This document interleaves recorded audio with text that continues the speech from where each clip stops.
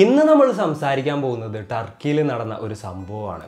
അപ്പോൾ ഈ ഒരു കഥയെക്കുറിച്ച് പറയുകയാണെന്നുണ്ടെങ്കിൽ ഒരുപാട് സ്ത്രീകൾ തെരുവിലിറങ്ങിയ ഒരു കേസിന്റെ പേരിൽ പ്രൊട്ടസ്റ്റ് ചെയ്തിട്ടുണ്ടായിരുന്നു. അതായത് ഇസ്താംബുൾ ടൗൺ എന്ന് പറഞ്ഞിട്ടുണ്ടെങ്കിൽ നിങ്ങൾക്ക് എല്ലാവർക്കും അറിയാം ടർക്കിയിൽ തന്നെ മെയിൻ ആയിട്ടുള്ള ഒരു ടൗൺ ആണ്. അവിടെ തന്നെ വലിയ രീതിയിലുള്ള പ്രൊട്ടസ്റ്റും കാര്യങ്ങളും നടക്കുകയുണ്ടായി. ഇസ്താംബുളിൽ മാത്രമല്ല ടർക്കിയിലെ പല പല പല സിറ്റികളിലും ഇത്തരത്തിലുള്ള പ്രൊട്ടസ്റ്റുകളും മറ്റും നടക്കുകയുണ്ടായി. ഇതിനെല്ലാം തന്നെ മുന്നിൽ നിന്ന് നയിച്ചിരുന്നതും സ്ത്രീകളായിരുന്നു. നമ്മളുടെ ഇന്ത്യയിൽ ഏതൊരു തരത്തിലാണ് നിർഭയ കേസ് ചർച്ചയായത്? അതുപോലെയായിരുന്നു ഈ ഒരു കേസ് ആ ഒരു നാട്ടിൽ ചർച്ചയായത്. എന്തിനേറെ പറയുന്നു ഇന്റർനാഷണൽ മീഡിയാസ് വരെ ഈ ഒരു ന്യൂസ് കവർ ചെയ്യുകയുണ്ടായി. എന്താണ് സംഭവം എന്ന് വെച്ച് കഴിഞ്ഞാൽ ഇരുപത്തേഴ് വയസ്സുള്ള ഒരു സ്ത്രീയെ നമുക്കൊന്നും ചിന്തിക്കാൻ പറ്റാത്തത്ര ക്രൂരമായി കൊലപ്പെടുത്തുന്ന ഒരു സിറ്റുവേഷൻ ആണ് ഉണ്ടായത്. Hello guys welcome back to the channel റസിൻ side ഈ ഒരു കേസിനെ കുറിച്ച് പറയുകയാണെന്നുണ്ടെങ്കിൽ അത് അത്യാവശ്യം ഡിസ്റ്റർബിംഗ് ആയിട്ടുള്ള ഒരു കേസാണ് അത്ര ക്രൂരമായിട്ടുള്ള കാര്യങ്ങളൊക്കെ ഉള്ള ഒരു കേസ് തന്നെയാണ്. ഈ ഒരു സ്ത്രീയുടെ കഴുത്തിൽ ആറ് തവണ കയറ് കൊണ്ട് വരിഞ്ഞു മുറുക്കിയിട്ടുണ്ടായിരുന്നു. ഏഴാമത്തെ തവണ ആ ഒരു വായിലൂടെ കയറെടുത്തിട്ടായിരുന്നു ആ ഒരു സ്ത്രീയെ കെട്ടിയിട്ടിട്ടുണ്ടായിരുന്നത്. അത്രത്തോളം ടൈറ്റ് ആയിട്ടായിരുന്നു അവർ ആ കയറ് കെട്ടിയിട്ടുണ്ടായിരുന്നത്. അതിനുശേഷം ജീവനോടെ ഈ ഒരു സ്ത്രീ ഒരു ബാരലിൽ എടുത്തിടുകയും പെട്രോൾ ഒഴിച്ച് കത്തിക്കുകയും ചെയ്തു. അതിനുശേഷം അവിടം സിമെന്റ് ഉപയോഗിച്ച് ഫില്ല് ചെയ്യുകയും ചെയ്തു. അത്രത്തോളം ക്രൂരമായിട്ടുള്ള ഒരു കൊലപാതകമായിരുന്നു അത്. ഇതൊക്കെ കഴിഞ്ഞിട്ട് ആ ഒരു സ്ത്രീയെ അതായത് കൊല്ലപ്പെട്ട സ്ത്രീയെ വിക്ടിം ചെയ്യുന്ന ഒരു സിറ്റുവേഷനിലോട്ട് വരെ കാര്യങ്ങൾ എത്തി ആ ഒരു സ്ത്രീ ഏതൊരു തരം ലൈഫ് സ്റ്റൈലാണ് ജീവിച്ചുകൊണ്ടിരുന്നിരുന്നത് അതേപോലെ തന്നെ ഏതൊക്കെ ഡ്രസ്സുകളാണ് ഇട്ടിരുന്നത്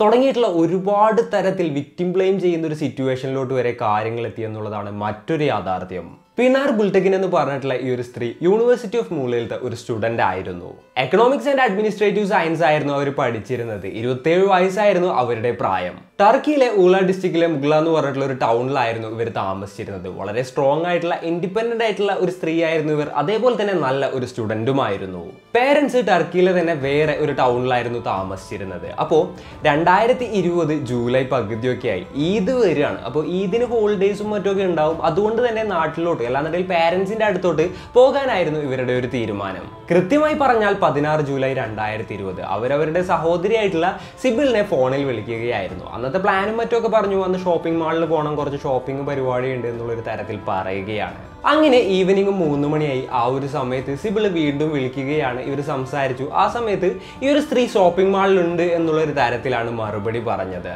എന്നാൽ അന്ന് രാത്രി എത്ര തവണ സിബിൾ പിണാറിനെ വിളിച്ചിട്ടും ഫോൺ എടുത്തില്ല. ആ ഒരു ഫോൺ സ്വിച്ച് ഓഫ് ആയിരുന്നു. അപ്പോൾ ഇവർ ആദ്യം തന്നെ ചെറുതായിരുന്നു പാനിക്കായി എന്നാലും വിചാരിച്ചു ഫോൺ എന്തെങ്കിലും ചാർജ് കഴിഞ്ഞ് സ്വിച്ച് ഓഫ് ആയതായിരിക്കും. സാധാരണ ഇത് പിണാറിന്റെ ഭാഗത്ത് നിന്ന് ഉണ്ടാവുന്ന ഒരു കാര്യമല്ല. അതായത് ഫോൺ സ്വിച്ച് ഓഫ് ആകുന്നത്. അവർ അങ്ങനെ ഫോൺ സ്വിച്ച് ഓഫ് ചെയ്ത് വെക്കുന്ന ഒരു കൂട്ടത്തിലൊന്നും ആയിരുന്നില്ല. എന്തൊക്കെയാണെന്നുണ്ടെങ്കിലും അന്ന് രാത്രി വെയിറ്റ് ചെയ്യാനായിട്ട് ഇവർ തീരുമാനിക്കുകയാണ്. പിറ്റേ ദിവസം രാവിലെ വിളിച്ചപ്പോഴും പിണാറിന്റെ ഫോൺ സ്വിച്ച് ഓഫ് ആയിരുന്നു. ഇതുകൂടെ ആയപ്പോൾ പാരൻസ് ആകെപ്പാടെ പാനിക് ആവുകയും അടുത്തുള്ള ഒരു പോലീസ് സ്റ്റേഷനിലോട്ട് പോവുകയും അതേപോലെ തന്നെ ഒരു മിസ്സിംഗ് കേസ് ഫയൽ ചെയ്യുകയും ചെയ്തു.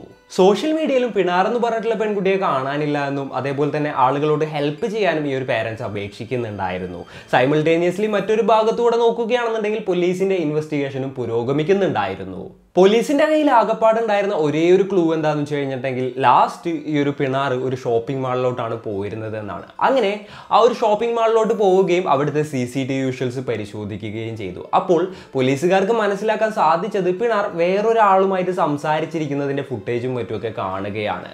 പോലീസുകാരുടെ പരിശോധനയിൽ അവർക്ക് വീണ്ടും മനസ്സിലാക്കാൻ സാധിച്ചത് എന്താണെന്ന് വെച്ച് കഴിഞ്ഞാൽ ആ ഒരു വ്യക്തിയോടൊപ്പം തന്നെയാണ് പിണാർ പുറത്തോട്ട് പോയിട്ടുള്ളത് എന്നുള്ളൊരു കാര്യവും കൂടിയാണ്. അപ്പോൾ പോലീസുകാർക്ക് മനസ്സിലായി ഈ ഒരു പിണാറിനെ അവസാനമായിട്ട് ജീവനോടെ കണ്ടിട്ടുണ്ടാവുക അവരുടെ കൂടെ ഉണ്ടായിട്ടുള്ള വ്യക്തിയായിരിക്കും അപ്പോൾ അയാളെ കിട്ടുകയാണെന്നുണ്ടെങ്കിൽ ഈ ഒരു കേസിൽ ഒരു ഫർദർ മൂവ്മെന്റ് ഉണ്ടാവും എന്നുള്ളൊരു തോട്ട് പോലീസിന് വരികയാണ്. അതിനുവേണ്ടി പിണാറിന്റെ ഫാമിലി ഫ്രണ്ട്സ് തുടങ്ങിയിട്ടുള്ള എല്ലാവരെയും ചോദ്യം ചെയ്യുകയാണ്. പിണാർ റെഗുലറായിട്ട് കോണ്ടാക്ട് വെച്ചിരുന്ന എല്ലാവരെയും തന്നെ പോലീസ് ചോദ്യം ചെയ്യുകയും ചെയ്തു.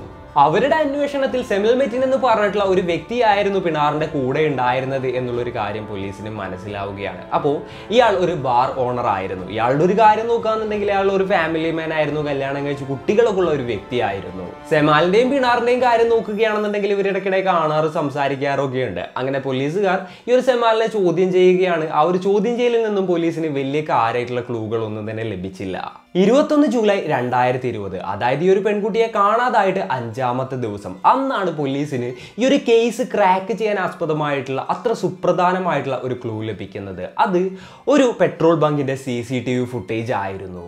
പിണാറിനെ കാണാതായ അന്ന് സെമാല ഒരു പെട്രോൾ പമ്പിൽ പോകുന്നതും തന്റെ കയ്യിലുള്ള രണ്ട് ക്യാൻ ഫുള്ളായിട്ട് പെട്രോൾ നിറക്കുന്നതുമായിട്ടുള്ള ഒരു വിഷ്വൽ ആയിരുന്നു അതിലുണ്ടായിരുന്നത്. അപ്പോൾ പോലീസിന് വീണ്ടും സംശയം തോന്നുകയും അതേപോലെ തന്നെ സെമാലിനെ കസ്റ്റഡിയിലെടുത്ത് വീണ്ടും ചോദ്യം ചെയ്യുകയും ചെയ്തു. ഇത്തവണ പോലീസുകാർ അവരുടേതായിട്ടുള്ള ഒരു സ്റ്റൈലിലായിരുന്നു ചോദ്യം ചെയ്തത്. അങ്ങനെ ഇയാൾ കുറേ കാര്യങ്ങൾ പുറത്തു പറയുകയുണ്ടായി. ആൾ പറഞ്ഞ കഥ എന്താണെന്ന് വെച്ച് കഴിഞ്ഞിട്ടുണ്ടെങ്കിൽ സെമാലും പിണാറും ഒരു റിലേഷൻഷിപ്പിലൊക്കെ ആയിരുന്നു ഉണ്ടായിരുന്നത്. അതിനുശേഷം ഈ ഒരു പിണാറ് സെമാലിനായിട്ട് ബ്രേക്കപ്പ് ആവുകയായിരുന്നു. ഇയാളൊരു ഫാമിലി മാൻ ആണ് എന്നുണ്ടെങ്കിലും ആ ഒരു റിലേഷൻഷിപ്പ് പാച്ചപ്പ് ചെയ്യാനായിട്ട് ഇയാൾക്ക് ഭയങ്കര ആഗ്രഹം ഉണ്ടായിരുന്നു. അപ്പോൾ അതിന് വേണ്ടിയിട്ടായിരുന്നു ആ ഒരു ഷോപ്പിംഗ് മാളിലോട്ട് വന്നതും ഈ ഒരു സ്ത്രീയുമായിട്ട് സംസാരിച്ചതും. അവിടെ നിന്ന് തന്റെ കൗണ്ടി ഹൗസിലോട്ടാണ് നേരെ പിണാറിനെ കൂട്ടിക്കൊണ്ട് പോയതെന്നും ഇയാൾ പറയുകയുണ്ടായി. അവിടെ വെച്ചിട്ടും ഇതേപോലെ തന്നെ പിണാറിനെ കൺവിൻസ് ചെയ്യാനായിട്ട് ശ്രമിച്ചു. എന്നാൽ അതിനൊന്നും അവർ വഴങ്ങിയില്ല.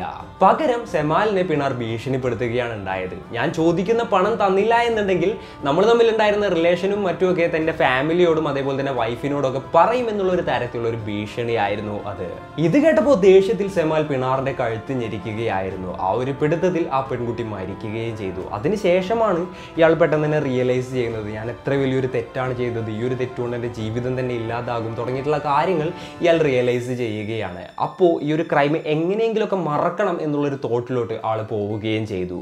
അതിന് വേണ്ടിയിട്ടാണ് പെട്രോൾ ബങ്കിലോട്ട് പോയതും അതേപോലെ തന്നെ രണ്ട് ക്യാൻ ഫുള്ള് പെട്രോൾ വാങ്ങിയതും. അതിനുശേഷം ആളുകളൊന്നുമില്ലാത്ത ഒരു സ്ഥലത്തോട്ട് പോവുകയും ഈ ഒരു പെൺകുട്ടിയെ ഒരു ബാരലിൽ ഇട്ടിട്ട് കത്തിക്കുകയും അതിനുശേഷം അവിടെ സിമെന്റ് ഫില്ല് ചെയ്യുകയും ചെയ്തു എന്നാണ് ഇയാൾ പറഞ്ഞത്. ഇത്തരത്തിലുള്ള കേസിന്റെ ഡീറ്റെയിൽസും മറ്റുമൊക്കെ പുറത്തായതിനു ശേഷം സ്ത്രീകൾ ടർക്കിയിൽ പല ഭാഗത്തും പല രീതിയിലുള്ള പ്രൊട്ടസ്റ്റും മറ്റുമൊക്കെ ചെയ്യാനായിട്ട് തുടങ്ങി. അതായത് സ്ത്രീ സുരക്ഷയായിരുന്നു ഇവരുടെ മെയിൻ ആയിട്ടുള്ള ഒരു മാറ്റർ അതായത് ഓരോ വർഷം കൂടുന്തോറും ടർക്കിയിലുള്ള സ്ത്രീകളുടെ സുരക്ഷ കുറഞ്ഞു വരുന്നതായിട്ടാണ് ഇവർ പറഞ്ഞിട്ട് പ്രൊട്ടസ്റ്റ് ഒക്കെ ചെയ്തിട്ടുണ്ടായത്. നമ്മൾ ഇത്ര നേരം പറഞ്ഞത് സെമാലിന്റെ സ്റ്റേറ്റ്മെന്റ്സ് ആയിരുന്നു. അതിനുശേഷമാണ് പിണാറിന്റെ ഫാമിലിയുടെ സ്റ്റേറ്റ്മെന്റ്സും ഇയാളുടെ സ്റ്റേറ്റ്മെന്റ്സും തമ്മിൽ ക്ലാഷ് ആവുന്നത്. അവർ പറഞ്ഞത് മറ്റൊരു തരത്തിലുള്ള കാര്യങ്ങളായിരുന്നു.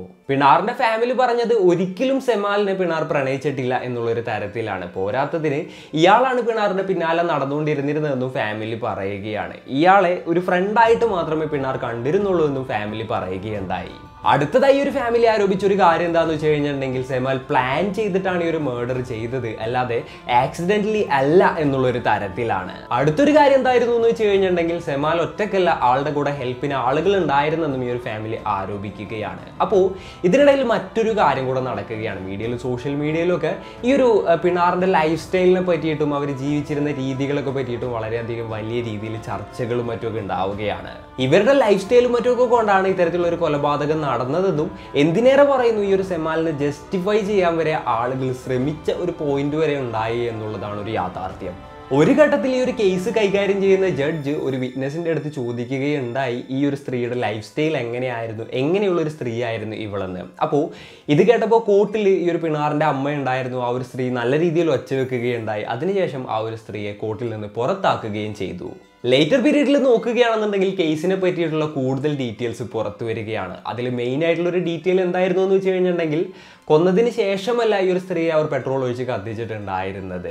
ജീവനോടെ ആയിരുന്നു ആ ഒരു സ്ത്രീയെ അവർ കത്തിച്ചത്. അതേപോലെ തന്നെ മറ്റൊരു കാര്യം പോലീസ് കണ്ടെത്തിയത് എന്താണെന്ന് വെച്ച് കഴിഞ്ഞിട്ടുണ്ടെങ്കിൽ ആ കൗണ്ടി ഹൗസിൽ ഇയാളുടെ ബ്രദറിന്റെ ഫോണിന്റെ സിഗ്നലും ഈ ഒരു കൃത്യം നടന്ന സമയത്ത് ഉണ്ടായിരുന്നു എന്നുള്ളതാണ്. അതായത് ആ ഒരു കൃത്യം നടക്കുമ്പോൾ ആളുടെ ബ്രദർ അവിടെ ഉണ്ടായിരുന്നു എന്ന് സാരം. ഈ ഒരു സ്ത്രീയെ കത്തിച്ചതും അതേപോലെ തന്നെ സിമെന്റ് ഒക്കെ ഫില്ല് ചെയ്തതും ആളില്ലാത്തൊരു സ്ഥലത്തായിരുന്നു എന്ന് പറഞ്ഞില്ലേ? അവിടെ പോലീസുകാർ ഇൻവെസ്റ്റിഗേറ്റ് ചെയ്തപ്പോൾ കുറച്ച് സിഗരറ്റ് ബഡ്സ് ലഭിക്കുകയുണ്ടായി. അതിൽ നിന്നും കുറച്ച് ഡി എൻ എയും പോലീസുകാർ എക്സ്ട്രാക്ട് ചെയ്യുകയാണ്. അപ്പോൾ അതിൽ നിന്നൊരു ഡി എൻ എ എക്സ്ട്രാക്ട് ചെയ്തപ്പോൾ മനസ്സിലാക്കാൻ സാധിച്ചൊരു കാര്യം എന്താണെന്ന് വെച്ച് കഴിഞ്ഞിട്ടുണ്ടെങ്കിൽ അത് ഈ ഒരു സെമാലിന്റെ അമ്മയുടെ ഡി എൻ എ ആയിരുന്നു എന്നുള്ളതാണ്. മറ്റൊരു സിഗരറ്റ് ബട്ടിൽ നിന്നും ഇയാളുടെ ബിസിനസ് പാർട്ണറുടെ ഡി എൻ എയും പോലീസിന് ലഭിക്കുകയുണ്ടായി. ഈ ഒരു സെമാലിന്റെ അമ്മയും വൈഫും പിണാറിനെ കുറിച്ചിട്ട് വളരെ മോശമായിട്ടായിരുന്നു കോടതിയിലും മറ്റുമൊക്കെ പറഞ്ഞിട്ടുണ്ടായിരുന്നത്.